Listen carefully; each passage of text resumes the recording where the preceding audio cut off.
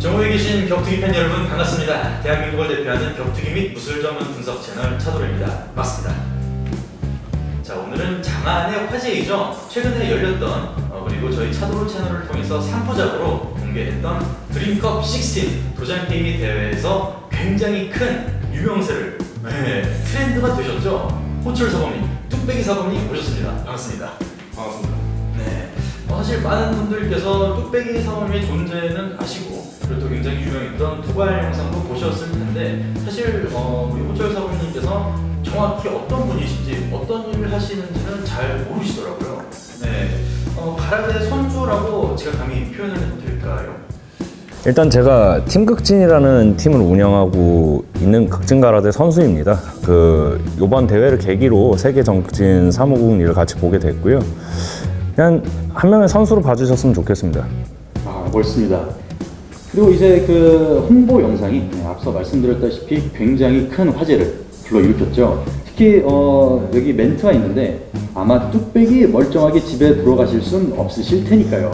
이런 멘트를 하시면서 이제 뚝배기로 목을 긋는 제스처를 하시고 이제 그에 어울리는 별명인 뚝배기 사범님이라는 별명이 생겼습니다. 근데 사실 이 부분이 어, 살짝 너무 무례한 게 아니냐. 조금 논란이 있었죠 댓글로. 네, 이 부분에 대해서는 어떻게 생각하시나요? 아 일단 그게 어디에 누구한테 어떻게 무리한 건지 제가 솔직히 잘 모르겠고요. 뭐 일단 이렇게 돼서 화제가 되고 뭐 시간이 지나서 결과를 보고 지금 말씀을 드리는 거지만 과연 이 정도 반응을 일- 이끌어낼 수 있었을까요? 좀 그거까지 생각해 주셨으면 좋겠습니다. 깊은 뜻이 담겨 있는 그런 영상이었군요. 자 그리고 또 다른 논란이 있었죠. 네, 뚝배기 사범님은 도발을 굉장히 어, 자극적으로 했지만 직접 경기에 출전을 하지 않아 아쉽다. 그리고 사실 많은 시청자분들께서 어, 뚝배기 사범님과 케빈 박 선수의 대결을 기대하기도 했고요. 네, 그래서 이번 대회에 출전하지 않는 이유에 대해서 많은 분들이 굉장히 궁금해하셨습니다. 어떤 이유가 있으셨나요? 일단은 이건 핑계라고 생각하고 좀 들어주시기 바랍니다. 그 국내 격투기 단체 대부분이요. 그 선수 유치뿐만이 아니고 대회 진행에 관한 스태프나 뭐 이런저런 인력 수급에 좀 많이 골치를 싸매고 있어요. 그래서 선수로서 나간다고 이렇게 빠져버리면 남겨진 사람들만 이제 엄청 고생하는 그림이 나오는 상황이었어서 이번에는 선수로서 참가가 조금 힘들었던 부분이 있었습니다. 그리고 이제 케빈 박 씨에 대한 도발 문제인데요. 뭐 이제 아쉬워하시는 분들 많으시더라고요. 일단 먼저 말씀드리면 제가 지금 체중이 100kg 가까이 나갑니다. 그리고 케빈 씨가 살이 조금 붙어야 65kg가 조금 넘는다고 알고 있어요. 근데 이 정도 체급차가 나면 제가 유리한 룰로 이렇게 불러들여서 하는 것보다 제가 상대가 유리한 룰로 조금 제가 가서 붙는 게 낫지 않나라고 생각을 하고 있습니다. 좀 뭐 기대에 부응하도록 하기 위해 뭐 머지않은 시일 내에 제가 케빈 씨 찾아가서 스파링을 한번 해보도록 하겠습니다. 어 이건 좀 다른 얘기긴 한데 케빈 박 선수의 유튜브 채널에 가시면은 그 극진 영상이 또 있잖아요. 아, 예, 예. 혹시 보셨는지 모르겠는데 예. 네, 케빈 박 선수가 또 적극적으로 예. 뚝배기 사범님 한번 붙어보고 싶다고 네, 약간 뭐 러브콜이라고 표현을 해야 되나요? 네, 공개적으로 그런 말씀을 했었거든요. 그러면 이제 뚝배기 사범님께서는 오케이라고 저희가 받아들여도 되는 아, 그럼요. 뭐 굉장히 기대가 많이 됩니다. 성사된다면 꼭 저희 채널 통해서 예. 중계해드리도록 하겠습니다. 알겠습니다. 네, 많은 기대 부탁드립니다, 여러분. 그리고 이제 이번 대회를 진행하면서 시청자 의견들이 굉장히 많이 나왔는데요. 네, 그 중에서 또 하나가 극진 공수도, 극진 가라- 가라데에서는 안면 타격이 불가능하다는 것에 대해 부정적인 의견을 많이 내주셨습니다. 네, 이 부분에 대해서는 사범님으로서 네, 어떻게 생각을 하시나요? 일단은 지루하다는 얘기랑 안면 타격에 대한 얘기는 저도 진중하게 받아들이고 있습니다. 뭐 지루함에 대해서 조금 말씀을 드리자면 그거는 시간이 조금 걸리겠지만 저희 협회나 선수들 전부 모두가 노력해서 해결해 나가야 된다고 생각을 합니다. 저희 극진이라는 무술이 그동안 수면 밑에 가라앉아 있어서 사실 대중들한테 생소하기도 하고요. 그게 이제 차도르 채널 덕에 저희가 수면 위로 올라와서 대중들한테 선보일 수 있는 기회가 생겼다고 생각합니다. 이제 이런 기회를 밑바탕 삼아서 저희도 조금 더 발전하 는 발전할 수 있는 기회가 되도록 했으면 좋겠습니다. 일단 안면 타격에 대한 문제는 저희도 충분히 인지하고 있습니다. 그 문제점에 대해서 저희 이제 극진이 경기화가 진행이 되면서 이제 안면 타격에 대한 문제가 어떤 식으로 생겼냐면 방어를 하지 않고 맞은 상태에서 어필을 하는 걸로 이제 시합을 유리하게 끌어가는 방향. 두 번째 이제 그런 식으로 경기가 진행이 되고 극진을 익히다 보니 타류 타 종목에 나갔을 때 안면 방어에 대한 허점이 생기는 것 때문에 오히려 극진이 더 약해지는 거 아니냐라는 식의 그 문제는 저희도 인지를 하고 있습니다. 근데 그렇다고 하더라도 저희가 이제 그 룰 변경이 조금 어려운 이유는 그 저희가 룰 변경을 해버리면 안면 허용을 해버리면 킥복싱 같은 범용성 좋은 무술에 편입이 되지 않을까. 뭐 누군가는 이거를 수렴 진화라고 얘기를 하시는데 그렇게 되면은 무도로서의 극진은 이제 좀 더 이상 존재할 수 없다고 생각을 하고 스포츠로서의 극진만 남는 게 아닌가 하고 생각을 합니다. 저희는 기본적으로 최배달 총재가 첫 번째 룰 개정 때 맨주먹과 글러브 사이의 선택에서 고민을 하셨을 때 맨- 결국은 맨주먹을 선택을 하셨는데 저희는 그 결정을 존중을 합니다. 솔직히 이제 모르는 사람들은 이제 얘기를 하시겠죠. 사실은 룰 제약으로 인해서 조금 더 보다 뛰어난 기술 습득력을 보이는 종목들이 몇 개씩 있어요. 뭐 복싱이 그렇고 태권도가 그렇고 레슬링이라든지 얼핏 보면은 불합리한 룰인데도 그걸로 인해서 조금 더 다른 종목보다 우월한 기술 습득력을 보일 수 있는 종목이 되어 있단 말이에요. 근데 이런 얘기는 사실 모르는 사람한테는 백날 얘기해도 잘 모르는 문제예요. 일단 최선의 방법은 저희가 타류 종목, 타 종목의 시합에 계속 지속적으로 나가는 방법밖에 없다고 생각합니다. 앞으로도 계속 도전을 할 테니까 그 부분에 있어서는 조금 이해를 해주시기 바랍니다. 어, 굉장히 어, 직모적인 마인드를 갖고 계시군요. 어, 멋있습니다. 네. 어, 그리고 사실 대회를 준비하면서 네, 다른 극진 유파와 살짝 마찰이 있었던 걸로 알고 있습니다. 사실 어, 이 이야기가 조금 예민한 얘기라 시청자 여러분들께서 오해를 혹시나 하실까봐 미리 말씀을 드리자면은 어, 저희 차도로 채널에서 최배달 어, 님의 어, 방송을 하고 그리고 또 저희 파트너들을 공개하는 그런 어, 포스트를 올렸을 때 이제 두 차례죠. 네, 그때 저희 차도로 팀에서 실수로 네, 엉뚱한 로고를 올려가지고 어, 그쪽 어, 유파에서 왜 우리 어, 가라 유파를 사칭하느냐 하는 식으로 어, 약간 complain이 들어왔었습니다. 그래서 그 부분은 저희가 발견을 하자마자 수정을 하긴 했는데 일단 예, 심려를 끼쳐드리고 그런 실수를 한 점에서 다시 한번 진심으로 사과를 드리겠습니다. 그 마찰이 있었던 부분에 대해서는 어떤 일이 있었던 건가요, 정확히? 네. 그리고 대회가 지금은 모두 마무리가 되고 끝났잖아요. 어, 그 마찰도 이제 다 풀어졌다고 저희가 이해를 해도 되나요? 일단 제가 좀 제 개인사를 말씀을 드리자면은 제가 2008년 정도에 이제 일본에서 극진 수련을 끝내고 한국에 돌아왔었어요.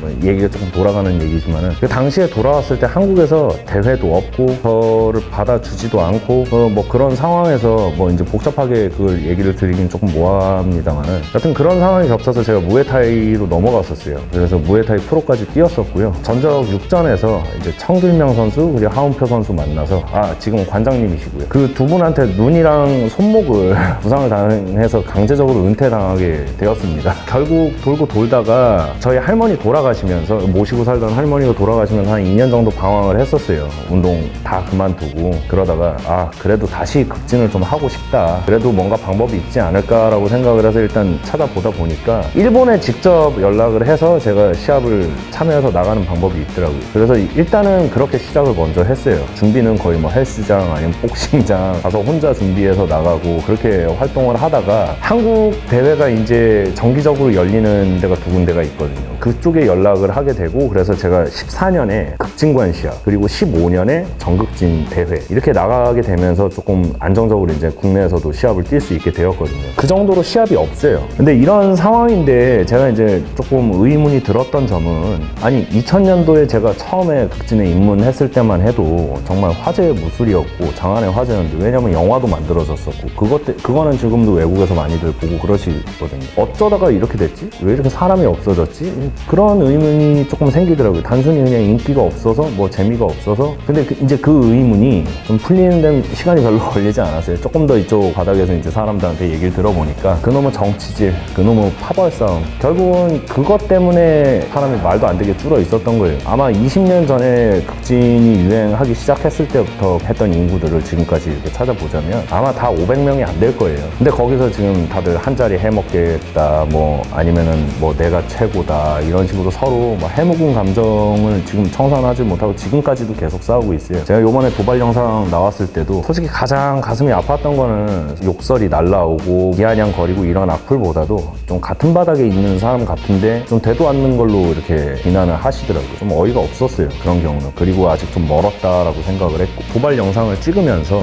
조금 행복한 상상을 조금 했었어요. 이게 좀 잘 돼서 내가 착한 척 하려고 그러는 건 아니지만은 내가 어그로를 끌고 화제를 모 아서 극진이라는 이름이 다시 좀 더 사람들 입에 오르내리면서 화제를 이- 이끌어낸다면 좀 다시 살아날 수 있는 불씨가 되지 않을까 그렇게 생각을 하면서 이렇게 된다면 아 요 다음은 우리가 극진 유파대항전을 해보는 것도 뭐 연고전 같이 뭐 고연전 같이 그렇게 해보는 것도 좋지 않을까라고 생각을 했었는데 조금 제가 생각이 물렀던 것 같습니다. 아직은 시간이 조금 더 걸릴 것 같고요. 뭐 덧붙여서 또 어떤 일이 있었냐면 제가 일본에서 급진을 배울 때 저희 스승님이 계셨어요 그분 이메일 주소를 누가 알아내서 거기에다가 영상 도발 영상을 이렇게 링크를 해서 번역기를 구글 번역기를 돌리셔가지고 제가 타유파 욕을 한다고 이렇게 해서 보내셨더라고요. 실제로 영상에서는 타유파 욕을 하지 않았습니다. 오히려 다른 쪽에 조금 도발을 했지. 그래서 일본에서 연락이 왔어요. 요번에 이제 도쿄 대회를 이제 가게 되면서 저희 연락이 가셨던 쪽 공관 그리고 저희 스승님 찾아뵙고 해명해서 정리하게 되었습니다. 뭐 일단 제가 팀 극진을 만든 이유는 딴 거 없어요. 딱 하나였어요. 그냥 유파, 파벌, 뭐 정치 싸움 이런 거 신경 쓰지 않고 우리끼리 시합 뛰고 싶은 극진하는 사람들 모아서 활동했으면 좋겠다 해서 만든 거였어요. 사실 저희 입장에서는 그 나이 든 사람들 한 자리씩 해먹겠다 하는 사람들이 무슨 이유로 싸우는지 아무 관심도 없어요. 누가 잘못했는지, 뭐가 잘못된 건지 뭐 그런 거 진짜 관심 없단 말이에요. 시합도 없고 이런 상황에서 결국은 노인네들이 싸워서 피해를 보는 건 저희 젊은 선수들이 이러다 보니 서로 교류도 없고 폐문 수련하듯이 서로 문 닫고 있으니 극진은 지금 현재 양적으로나 질적으로나 전, 지금 퇴화를 계속 거듭하고 있어요. 이번 차도르 채널에서 이 문제가 좀 부상이 되면서 이런 게 조금 해결이 됐으면 하는 바람이 조금 있었던 게 있고요. 그리고 개인적으로 제가 이 협회에 소속이 되면서 저를 따라와주는 후배나 좀 믿고 도와주는 선배들이나 이런 분들이 생겼어요. 근데 이제 후배들한테는요. 제가 겪었던 이런 좀 고생들 아니면은 이렇게 좀 힘들게 극진을 하게 하고 싶지는 않아요. 어렵지만은 이 문제가 다 해결이 돼야 된다고 생각을 합니다. 그래야지 이제 시합도 좀 편하게 뛸 수 있고 애들이 사실 뭘 알겠어요. 극진만 열심히 해야 되는데. 요번 영상 그리고 요번 프로모션 진행하고 그리고 대회를 하면서 결과적으로 정리된 거는 아무것도 없어요. 서로 견제만 더 심해지고 있죠, 사실. 결국에는 한국에 극진하는 사람들 전부 하나로 뭉쳐서 싸우게 될 겁니다. 저희가 제 목표 중에 하나고요. 세계 무대에 나갔을 때 아, 한국이다. 저 나라 애들 잘하더라. 센 애들이 나왔다. 다른 나라 사람들 다 긴장시키고 그렇게 만드는 게 제 목표입니다. 그리고 그렇게 만들 거고요. 지켜봐 주십시오. 정말로 그게 성사가 돼서 모든 유파들이 한 자리에 모여서 서로 교류도 하고 대결도 해서 강해지고 모두가 발전할 수 있는 그런 예. 날이 빨리 오길 바랍니다. 그 서로 죽이자 뭐 싸우자 이런 의미로 하자는 게 아니에요. 일단 첫 걸음은 저희는 결국 주먹으로 얘기하는 사람들이잖아요. 시합부터 같이 해보자는 얘기예요. 그러다 보면 묵힌 얘기 아니면 넘어갈 얘기 이런 것도 교류가 있어야 해결이 되고 할 거 아닙니까? 그래서 원래는 유파 대항전을 조금 생각을 했었어요. 조금 안타깝지만 시간이 조금 더 걸릴 것 같다 라는 게 지금 제 생각이고요. 그리고 어, 최근에 뚝배기 사범님께서 일본에 예, 직접 가셔가지고 도쿄 대회에 또 출전을 하셨습니다. 그리고 오늘 이 인터뷰가 올라가는 날짜를 기준으로 이제 내일 영상이 올라갈 건데요. 이 대회에 대해서 간단하게 설명해 주실 수 있으신가요? 일단은 저희 대회에 뭐 일단 다들 보셨으니까 아시겠지만 1위, 2위를 일본 사람들이 가져갔어요. 저는 이제 저희 팀원들이 요번에 이제 우승을 할 것이다라고 생각을 했고 또 차도르 씨가 직접 이렇게 300이라는 거금을 또 지원을 해주셔서 사실 저희 같은 아마 스포츠는 그런 상금 걸린 대회가 드물거든요. 그거를 노리고 있었는데 그 싸그리 뺏겨버렸습니다, 일본에. 그래서 좀 속이 많이 아프고요. 그래서 열이 받아갖고 그 친구네들이 요번에 주최를 하는 행사가 도쿄 대회였어요. 저도 원래는 대회 참가 생각이 없다가 좀 약이 올라서 급하게 신청을 해서 지금 저희 에이스들 다 총출동 시켜가지고 대회를 나갔고요. 결과적으로는 종합 우승을 하고 돌아왔습니다. 어떻게 보면 이게 좀 그림이 재밌지만은 우리 1등, 2등을 일본 애들이 가져간 것처럼 걔네 1회 대회, 1회 도쿄 대회 1, 2위를 저희 팀원들이 다 가지고 돌아왔습니다. 박영주 하가을 선수가. revenge하러 오신 거네요. 그럼요. 조금 속이 시, 그 시원합니다. 상금은 없었지만. 그 사실 그 도발 영상 하시면서 많은 분들이 뚝배기 사범님의 실력 이 실전, 예, 경기 영상 굉장히 궁금해 하셨는데 내일 올라오는 영상 많은 관심 부탁드리겠습니다. 어, 그리고 최근에 예, 택 결련 택견협회 황인모 선생님 이 주먹 있다 만나신 분이죠. 예, 굉장히 유명하신 분인데 그분이랑 또 교류가 있으셨더라고요. 제가 택견 배틀을 몇 번 나가면서 일단 안면이 있었던 분이시고요. 뭐 발차기부터 해서 도끼질 에 대해서 조금 제가 여쭤보고 싶어서 찾아뵀었던 거였어요. 다른 게 아니고 뭐 일단 영상 보시면 알겠지만 제가 이제 뚝배기라는 캐릭터가 저도 지금 꽤 마음에 들더라고요. 그래서 이번 대회에서 좀 준비한 필살기가 있었는데 이거를 컨셉만 잡고 사용을 하다 보니까 실질적인 위력이 나오지 않는 것 같아서 도끼질의 전문가 그 황인무 선생님을 찾아가서 이제 조금 더 노하우를 배워왔어요. 야, 아무래도 전문가다 보니까 좀 다른 게 있더라고요. 이제 이번 도쿄 대회 다음 때쯤 되면 제가 정말로 뚝배기를 깨는 걸 보실 수 있을 겁니다. 와 기대 굉장히 많이 됩니다. 그러니까 지금 어떻게 보면 바라대와 택견의 기술을 섞으신 거네요, 그렇죠? 그렇죠. 기술은 교류가 되어야 되고 극진이 뭐 근대 무술사에서 이제 굉장히 한 획을 그었다고 하, 지만 저희 기술이 만능이라고는 생각을 하지 않아요. 그 잘 쓰는 기술을 그 기술의 전문가들이 있고 그런 거에 대해서는 배움을 주저하지 않고 가서 배움을 청하는 게 좋지 않나라고 생각을 했어요. 그 케빈 박 선수가 이번에 드림컵 16 대회 출전을 했잖아요. 예. 예, 도발을 받아들이고 예. 그 부분에 대해서 어떻게 생각하시나요? 일단 현장에서 케빈 박 선수 시합을 봤고 그리고 또 예전 사실은 뭐 모른 척하고 이렇게 도발을 했지만 케빈 박 선수에 대해서 좀 익히 알고 있었어요. 이 사람은 좀 진짜배기다 라고 생각을 했었어요.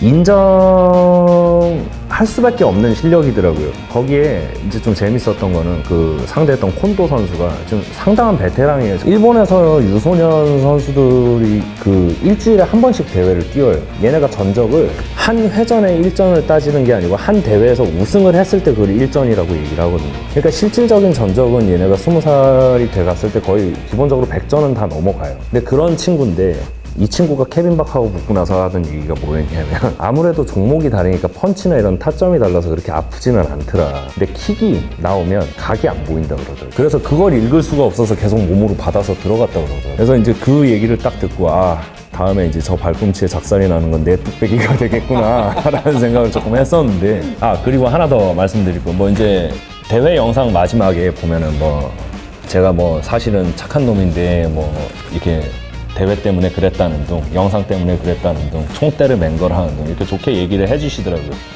저는 전혀 그런 사람이 아닙니다. 양아치고 아마 운동 안 했으면 더 나쁘게 굴러갔을지도 몰라요.